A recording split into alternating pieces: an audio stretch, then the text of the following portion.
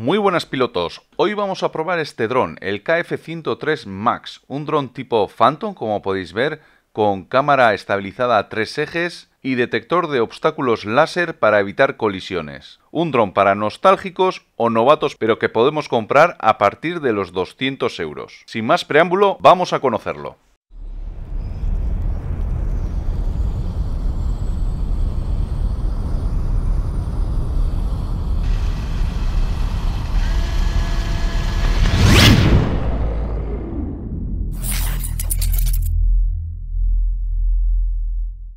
Pedazo caja que tengo aquí. No os podéis hacer a la idea. Es grande, es gruesa, grandecilla.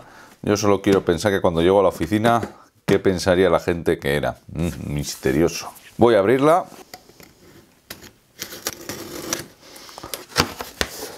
Cartón ya tiene. Y aquí dentro tenemos una caja de polispan. A ver, lo abro. No tiene mala pinta. Es la primera vez que tengo semejante cacho caja. Veis que aquí me pone abierto y cerrado. Lo abrimos. Y aquí tenemos un juego de hélices, dos juegos de hélices, una batería, otra batería más, el sensor láser, el control remoto, instrucciones de la app, instrucciones del dron en chino y en inglés. Y aquí el dronete que viene ya montado con la cámara aquí abajo como veis no es tan grande como un Phantom, ¿eh? es más chiquitín. De este tamaño ya hemos visto alguno antes. Bueno, pues esto es todo lo que me ha llegado en la cajita esta gigante y a ver, vamos a ver el dron porque no tiene, en este caso no tiene mala pinta. Este es básicamente el dron del que estamos hablando. Hay dos modelos. Hay uno en color negro, que es muy chulo, y este un poco más clasicote en color blanco. Aquí ya según gustos. Eso sí, en estos momentos hay dos versiones. Una de dos baterías que sale sobre los 210 euros y otra con tres baterías que queda en 235 euros. Como sabéis, esta es la versión de dos baterías. Lo que son las medidas, veis que es un cuadrado perfecto, 22 centímetros, lo que es en cada lado, y una altura de 15 centímetros. Con las hélices y todo, pues abarca hasta 35 centímetros. El peso sin batería se nos queda en 334-35 gramos y si añadimos la batería en 488. Con las hélices andará rondando los 500 gramos aproximadamente. Los motores, como podéis ver, son motores sin escobillas. Son unos 1806 a 1700 kV. Esto es un clásico y acompañados también de otro clásico que son los variadores de 12 amperios. Bueno, suficiente para hacer volar un dron de este peso y de este tamaño con bastante soltura. La batería que veis aquí es una lipo de dos celdas, 7,6 voltios, 3150 amperios y según el fabricante puede darnos entre 20 22 minutos de vuelo, que bueno, puede acercarse bastante a la realidad.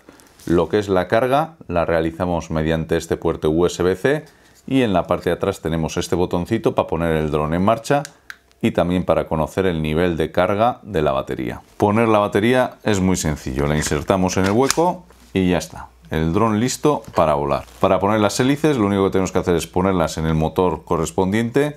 Aquí por ejemplo va la A según la rotación que llevan y bueno, girando ella sola se pone sin ningún problema. Así con las otras cuatro. Como veis aquí abajo tenemos una cámara que está unida a un sistema wifi que nos permitirá ver lo que estamos grabando en una distancia de teóricamente hasta 400 metros. Ya probaremos cuánto nos da. ¿eh? Pero bueno, puede ser también. ¿eh? Tenemos un FPU en teoría hasta los 400 metros. El control remoto, según el fabricante también, hasta los 500 metros, con lo cual pues ese no sería el problema. Antes perdemos la visión que el control. La cámara de vídeo, que es esta chiquitina que está aquí, es una cámara 4K, pero graba vídeo en Full HD 1920 x 1080. Las fotografías sí que las saca en 4K 3840 x 2160. Como veis, lleva un gimbal de tres ejes, con lo cual tendremos la imagen estabilizada, muy importante, ya os decía en el anterior vídeo, Hoy en día, para este rango de precios, tenemos que exigir sí o sí que la imagen esté estabilizada si queremos algo medianamente decente. No tiene mala pinta esta cámara, ya veremos luego a ver cómo nos responde. El FOB, como es habitual en este tipo de cámaras, es de 110 grados, esto es, bueno, nos da una apertura, nos da una imagen bastante ancha, pero sin llegar a deformarla. Aparte, ¿qué más tenemos en este dron? Tenemos un barómetro para poder, digamos, mantener la altitud. estos datos del barómetro los utilizará la controladora y luego en esta zona, entiendo yo, tiene que estar la antena del GPS. Esto es muy importante ya que con el GPS vamos a tener la vuelta a casa automática. Si perdemos la conexión, si nos perdemos nosotros y queremos que vuelva, pulsamos el botón automáticamente va a volver al punto de partida. Desde luego que el GPS en estos casos es súper necesario. Aparte, ¿qué va a hacer? Pues bueno, nos va a dar las opciones también de sígueme, que habéis visto en otros drones, la de orbitar alrededor de un objeto, etcétera, etcétera. Y en este caso tenemos también este sensor, aparte del GPS, que es un LIDAR o un sensor láser que va a detectar si tenemos un obstáculo delante, bueno, en un abanico en realidad bastante amplio ya que va girando. Es igual que el que vimos en el SG906 Max, hace la misma función y en ese dron al menos, bueno, funcionó bastante bien.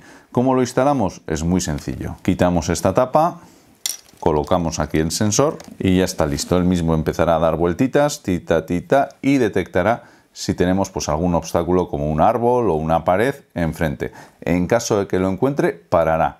Estos drones no los evitan. Simplemente lo que va a hacer es parar y evitar golpearlo. Funcionan bastante decente. Para novatos, por ejemplo, puede ser interesante. ¿Qué más llama la atención este dron? Bueno, pues como veis tiene una estructura muy en plan Phantom, más chiquitín, más pequeño, más recogido, a su favor, pues estos drones son bastante difíciles de romper, no son tan sencillos como los que tienen brazos articulados, pero en contra, pues bueno, como veis ya tiene bastante volumen y es más difícil meterlos en una mochila, por ejemplo. Aquí lleva cuatro tornillos, se pueden desmontar las patas, pero no lo recomiendo porque entonces podéis llegar a dañar lo que es el gimbal y la cámara. Si no, es recogidito, es pequeño, en peso lo normal. En la parte de atrás, como os he dicho, para conectarlo. No se nota mucho cuál es la parte delante y cuál es la de atrás, simplemente por esta pequeña imagen. Y aquí abajo lo principal es la cámara. Tenemos también cuatro luces de posición que si los encendemos se van a encender indicando pues la situación en la que está el dron y luego también nos servirán eh, cuando esté volando pues para poder verlo. En lo que se refiere a la emisora, veis que no es nada pequeña, no tiene unos acabados muy lujosos, pero bueno, tampoco tiene mala pinta.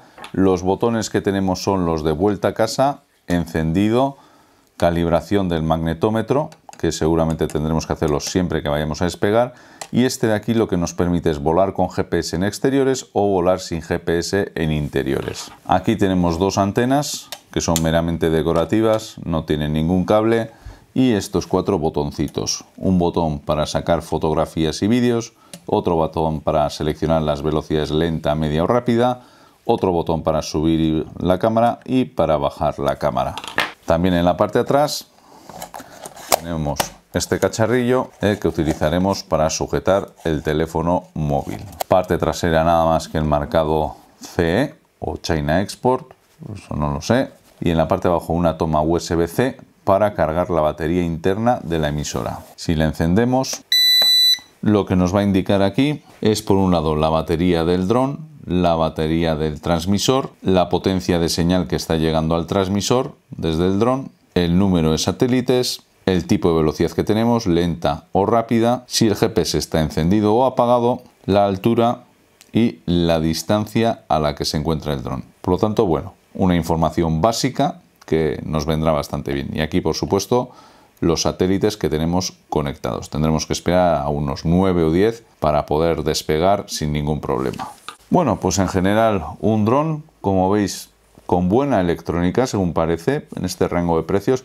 Yo lo veo así exteriormente, al menos la electrónica la veo similar al SG906, ya veremos luego si es igual o es mejor. Lo que es el LIDAR, interesante en este modelo y digamos una estética algo más retro o distinta a lo que se está llevando hoy en día con sus pros como puede ser la resistencia a golpes y sus contras pues que es por supuesto que es más bicho para poder transportarlo muy bien ya lo hemos visto el siguiente paso va a ser volarlo y a ver qué sensaciones nos traslada este pequeñajo.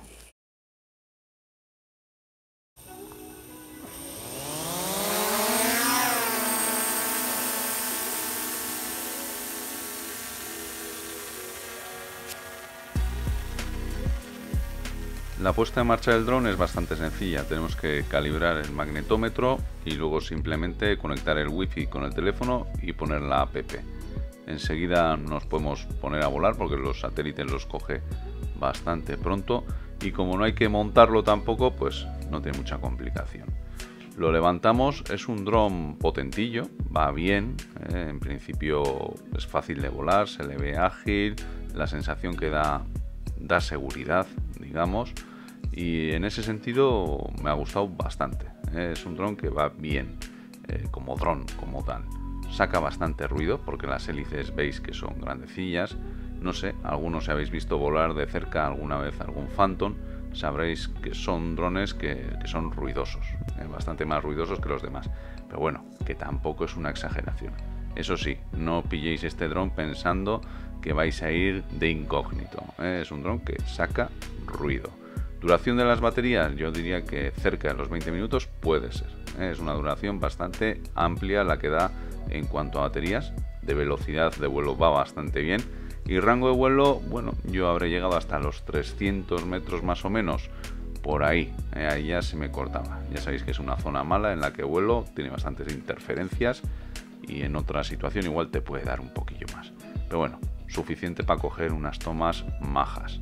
En cuanto a la imagen, bien, veis que, es muy del estilo del SG906 Max, tiene alguna estabilización, está estabilizadillo, pero tampoco es una estabilización perfecta, pues como puedes encontrar en otros drones, pues como en el FIMI X8 o incluso, bueno, los DJI, que decir, o en, algún Hubsan, pues ya de los que, los que tiran para arriba con, con un gimbal de tres ejes. Es una estabilización, pero no es una estabilización perfecta.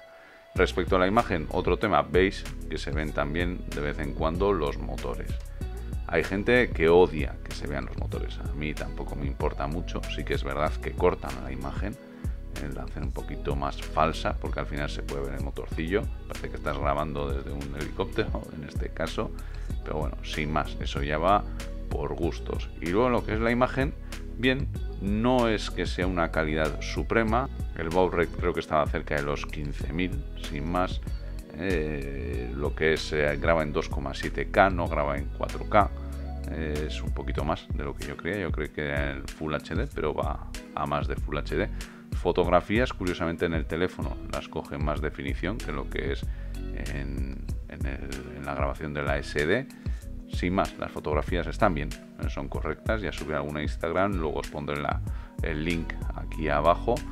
Y lo que son los colores y demás, bueno, veis que, que no está mal. Sí que se nota un cierto apastelamiento del color, falta de definición en algunas zonas, pero bueno, para este rango de precios entre los 150 a 200 euros es aceptable. No es lo mejor que tenemos, pero es aceptable en este rango de precios. El Sígueme va bastante bien lo hace por GPS, por lo tanto no os va a enfocar en todo momento, va a seguir vuestra dirección, os tenéis que eh, ocupar vosotros de que, de que estéis enfocados. Si vais en una dirección única, bien, os seguirá bien. Lo hace bien tanto para adelante como para atrás, sin ningún problema. Al menos el sígueme bien. Y otras funciones, pues como pueden ser, que veréis ahora, a, continuación, el orbitar que he probado, también correcto. Partes de un punto central y luego empieza a orbitar alrededor de ese punto y lo que es eh, la vuelta a casa también correcta. No me ha vuelto al punto exacto, luego veréis la vuelta a casa, no me ha vuelto al punto exacto, me ha vuelto más o menos a metro y medio, algo así, pero es aceptable en cualquier caso, porque la vuelta a casa al final lo que queremos es que si se nos pierde el dron podamos volver a recuperarlo. Veis aquí el sígueme va bastante correctillo. Si no, pues en cuanto a dron me ha gustado, ¿eh? yo creo que es un dron que bueno, si se acerca más a los 150 que a los 200 mejor, ¿eh? no está mal, pero bueno, luego es el hecho de que tenga los brazos rígidos. Para el transporte eso empeora las cosas. Sí que lo hace más duradero, pero empeora las cosas lo que es para el transporte. Eso ya va por gustos y de lo que busques. Muy bien, os dejo finalmente con la prueba de la detección de obstáculos. A ver, ahora vamos a probar el sensor de choque láser. Solo funciona en velocidad lenta. Vamos a ir contra el árbol y a ver si para tiempo o nos quedamos sin dron. Va, sigue. Me está pitando y no me deja ir más. Le sigo dando. Mira, saca. Estoy dándole y esto ya no tira para adelante, está parado. Prueba superada. Visto que funciona la detección de obstáculos, poquito más tenemos que ver de este dron. Ya hemos visto la imagen, cómo vuela, todo completo. Me gustaría saber qué os ha parecido, si os parece una alternativa buena en torno a estos 200 euros o no, y qué otros drones interesantes veis en este rango de precios. Ya sabéis, darle al like, suscribiros al canal si no lo habéis hecho ya y nos vemos en el siguiente vídeo que tengo cosas muy interesantes para traeros. Hasta la próxima pilotos.